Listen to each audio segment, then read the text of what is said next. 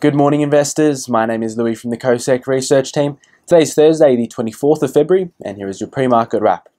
Yesterday, the Australian stock market strengthened, rising 0.65% to 7,202. While in the US, markets ended in the red once again with the Nasdaq leading the losses, falling more than 2%, and the S&P 500 falling further into correction territory.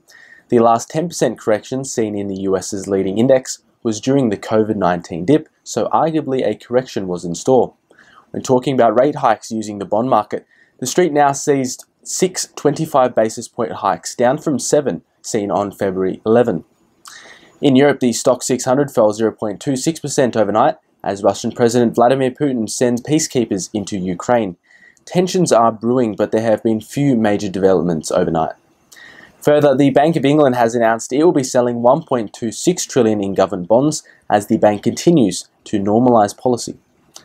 While in Asia, equities have fallen for a third straight day with the MSCI Asia Pacific Index down 2.1% to a new three-week low.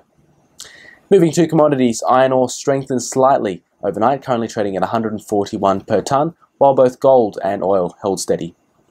And to currencies, the Australian dollar continues to rebound from its January lows last night. It's up to 72.3 US cents, while both oil and gold, as I mentioned, were flat, and Bitcoin and Ethereum were also flat in quite a muted evening in currencies and commodities.